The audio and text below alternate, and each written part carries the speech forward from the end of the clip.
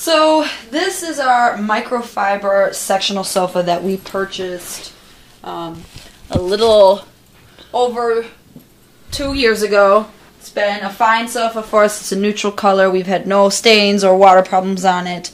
Um, however, a couple of days ago, a family member brought their small pooch over and she had an accident on the microfiber sofa. So, um, our dogs like to perch kind of in the top of the cushion right here, and this little dog was right here on the top of this cushion, and she peed a lot on top of here.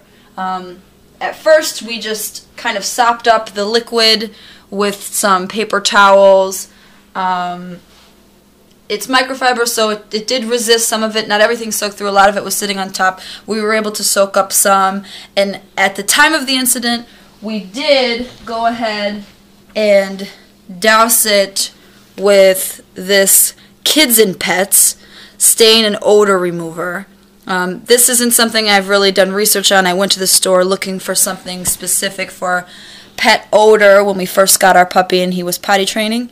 Um, we have been using this for about six months. It does seem to do a pretty good job. We've only had few incidences, so um, it actually has a very potent smell at first, kind of like blueberries. It actually smells really great, so it immediately counteracts the the poor odor, the bad odor. Um, but I've never, I hadn't used it on the sofa before this. I had really only used it on the carpet. So this was a few days ago. We've been a little bit busy. We're coming back to the situation now because there is still some smell. Um, we looked online for different solutions. Turns out there are thousands and thousands of posts on how to clean your microfiber sofa. Um, a lot of people say a lot of different things, so we decided to go ahead and, and make a video of what we decided to do and let you know how that works. So if you're ever in this situation, you can try this type of option. So she peed mostly on top of the cushion, but some of it did dribble onto the cushions that were right here. So these cushions are removable. They just have a zipper. You can take them off the couch. You can unzip it. Take the cushion completely off. It's just foam in here. I already have washed these two cushions in the washing machine um, on gentle, with just these two things in there, on gentle cycle, cold, cold, I put um, enough regular laundry detergent in for a small load of laundry, and then um, got them out of the washer immediately and just laid them flat to dry. They've dried, they're clean, they smell great, no problem, no stains. Um, so our problem comes in because this cushion is not removable. As you can see, it's sewn to the couch. So it becomes a little bit more of a problem trying to remove the odor. There's no stain. The stain is gone, as you can see, no problem. It's just the odor. So what we decided to do was come in underneath. We just, we used um, just kind of like a, a little knife, an X-Acto knife, and just ripped this seam as you can imagine, when this is full of stuffing, this seam is on the bottom. So, yeah, so here's one that's, it was this seam here. So we just ripped it enough to get an arm in here. And we've already pulled out all the stuffing that was in here. It's not foam in here, it's loose stuffing, so it's real easy to pull out. Now everything on the bottom half of the cushion was totally unaffected by the urine. So when we first started pulling things out, we did save the stuffing that had no smell, hadn't been touched. We filled up this entire garbage bag with the foam. So this is all clean, still smells fine, no problem. We're going to reuse this when we stuff. Now, for the for the stuffing that was at the top, you can tell what's been affected because it has a smell. So with everything that was at the top of the cushion, we're just going to go ahead and pitch. So now that we've removed all the stuffing, we have we're going to use our kids and pets. When you buy this, it doesn't have a spray spray top on it. It has more like a water bottle lid on it because you're here it is. Yeah. Cuz you're supposed the instructions say when there's a spot, you douse the whole thing. Just douse it. Soak it. And well that's after you soak up the excess liquid or whatever it may be. You if it's carpet, you douse the carpet and then you just let it dry, and that's all you do. You don't scrub it or rub it or anything. So I have done that in the past with the carpet, and it seems to have been fine. I did not want to do that for this. Um, anyone who has microfiber knows that liquid on microfiber is not always great. It can leave a ring, blah blah blah.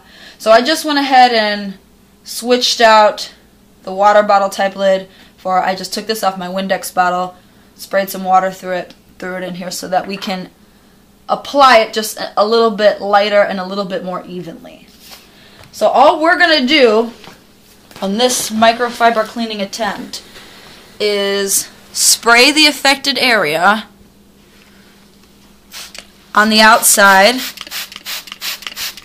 And like I said, this was a good amount of pee. So I'm going to really get the whole thing in case it seeped, and I can already smell this. It's it, it has a kind of a it has a smell, but it doesn't smell like a cleaning product. So I don't know why it makes me think of like blueberry candy. Unfortunately for us, our precious pooch visitor did dribble kind of down the front here. So I'm just gonna not be shy about it. And as you can see, it's getting darker, so I know it's pretty saturated. I'm gonna just kind of. I don't want to have to do this again, so. I'm just doing the whole thing. Maybe even coming back around here. When you're cleaning this, no matter how close you get, as soon as you put this stuff on, you're not smelling pee anymore. I can tell you that right now. Okay, so I've got the outside. Now what I want to do here is apply some of the product on the inside and agitate it a little bit with a, some sort of scrubby brush or whatever you might have. So I'm going to just see if I can fit both. Yeah, okay. So I just got my arm in here. And to have some assistance. I'm just going to, you can't see it, but I'm just spray. I'm doing the same thing. I'm just spraying from the inside, so it's on both sides of the fabric. This is really wet, so like I said, I'm being very generous. Yeah, it's it's already kind of soaking through, so I think there's plenty. I guess I get a little bit on the top. Yeah, it's really wet in here. Okay, I think we're good. I'm gonna pull it out.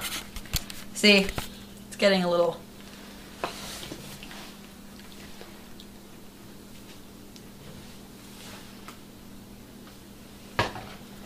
I'm just going to, this is a scrub brush we happen to have on hand.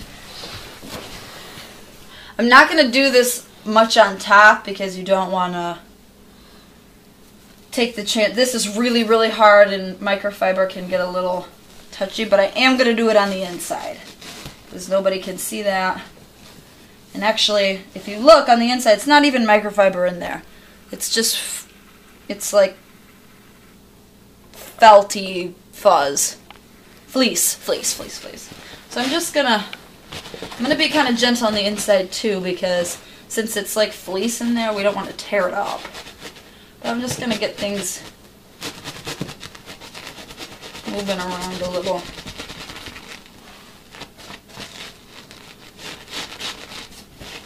So nothing's stagnant.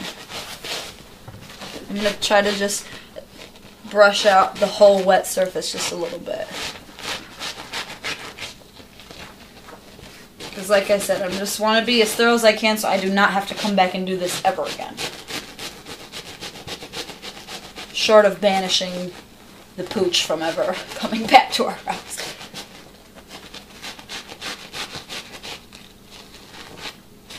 So anyway, however long you might want to do this is up to you, whatever makes you feel good about getting the job done. and then at this